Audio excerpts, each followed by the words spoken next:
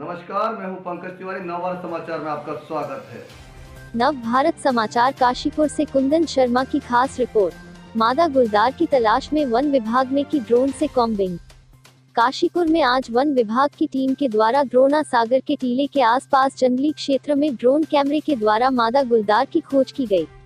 लेकिन वन विभाग को किसी तरह की कोई कामयाबी हाथ नहीं लगी। जिसके बाद वन विभाग की टीम मई ड्रोन कैमरे के बैरंग ही वापस लौट गई। आपको बताते चले कि बीते तीन चार दिनों से शहर के जसपुर, खुर्द तथा उसके आस पास के द्रोणा सागर के टीले से लगे क्षेत्र के जंगली क्षेत्र में लोगों के द्वारा मादा गुलदार तथा उसके शावकों को देखे जाने के बाद लोग दहशत में आ गए थे।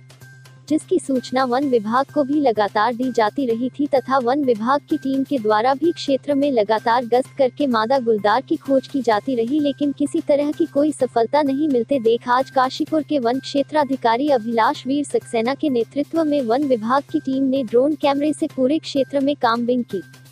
इस दौरान काफ़ी देर तक झाड़ियों से पटे जंगल में ड्रोन कैमरे से पूरी तरह कामबिंग करते हुए बारीकी से कैमरे के द्वारा निरीक्षण कराया गया।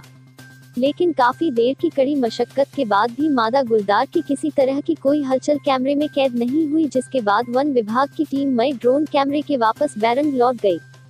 इस दौरान वन क्षेत्राधिकारी अभिलाष वीर सक्सेना ने लोगों से अपील की कि वह रात को अपने घरों की लाइटें जलाकर रखें तथा शोरगुल करते रहें।